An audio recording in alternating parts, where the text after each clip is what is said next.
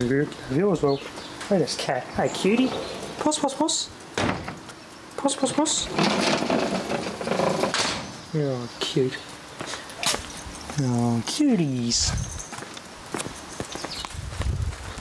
Ah, got this stuff organised in here. Got the cabinet in here. Perfect. Dig it in the container. Did some dug into my storage and did a lot, lot of rearranging. And boy, I found the stuff that I wanted to find. Found my bloody JK desulfator, but where my O-ring kit is, so I'll have to go further. Packed up one of the boxes, I've got to dig them out there. I've rearranged my meters and put them in the shelving that I've made and taken stuff like this out that I didn't really need in there. I can leave these here, just sort through it all and chuck out what I bloody need. Made a fair few um, more spare spots now which I put the heavy stuff in the shelves in the bottom. Made things easier, this is more rodent proof now. Got the old faithful. I've got my other, my other snap-on one I used to use, but I left it behind in the container. I forgot to bring it, so I have to use this old faithful Makita. Old faithful. I can't find my GE being box, that's in there somewhere. I want to do a, um, a line input mod on this. There's a pretty powerful amplifier in it, nice loud speakers. This thing is so bassy and so loud that if I turn the volume up any more than a quarter of the way with the bass, it bumps the CD and the CD keeps skipping with the bass, so yeah. It's a nice boom box, but it won't play CDs if you turn the volume up too much. It's just that laser just trips too easily. it's a design flaw with this thing. There's too much bass to the CD player to handle. I can't believe it. Can't even handle its own bass. I'm not going to fix that, putting um, live input on it. So we'll take this thing apart, let's see what sort of IC it uses. They've only 2.8 ohm speakers too, so that's why it's so loud and bassy.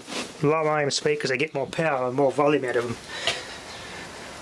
So, do the uh, tape, tap into the uh, leaf switch off the cassette mechanism, but off the um, the amplifier part of it.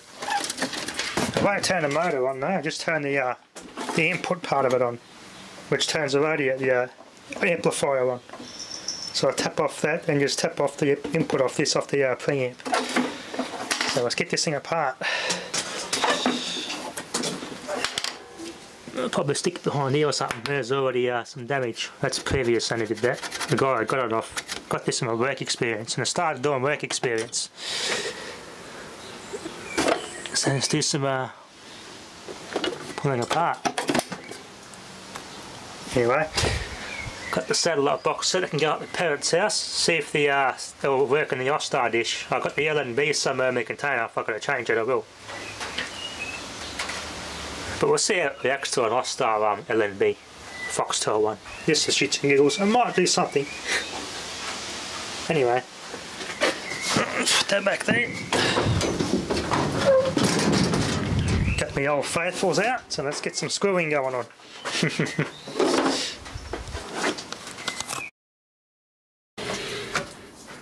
Okay, we've got an integrated circuit here, Toshiba. This goes directly off the heads into that. This is an um, input for the cassette drive, like ground, left channel, right channel, red, yellow and black. So we've got to find which one of those is which.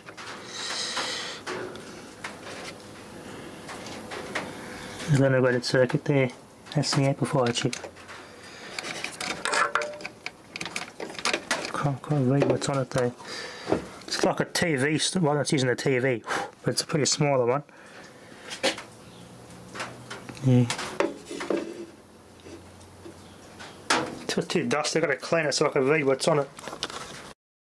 Okay, it's a Sanyo LA 4600, 12.5 watt IC. Some fingers under there, like in the wrong part, wrong part of the circuit.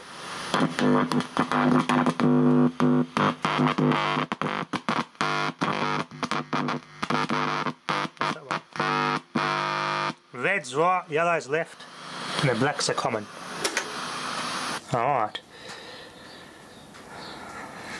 Now I know which one's which. Let's get some wires tapped to it.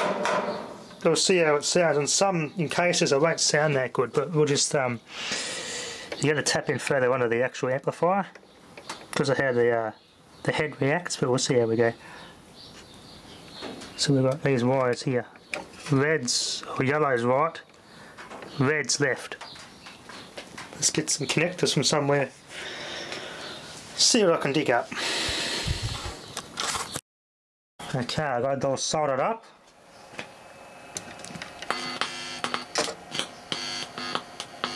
Working.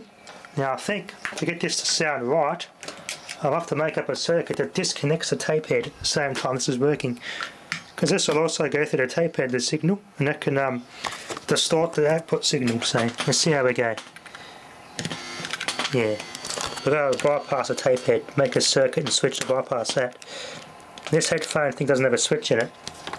So it'd be nice if I was going to make a could switch all through here that turns the uh, input on but not the motor.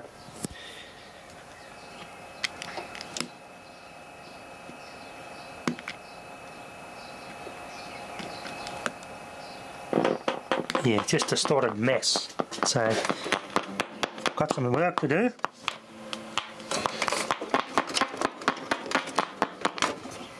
Nothing now, I got it all unplugged.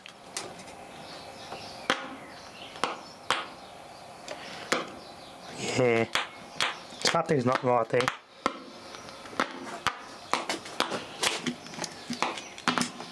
I got something wrong there. Yeah.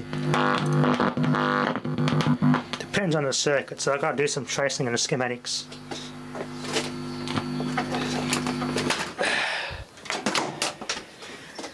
It sort of works, just going to make it where I can bypass other circuitry so I can go directly in and skip all the other um I could go directly into the amp, but then I get I won't have any of the equalizers. I want to make it so it works through the equalizers and everything. Anyway, viewers, that'll be enough for now. Thanks for watching.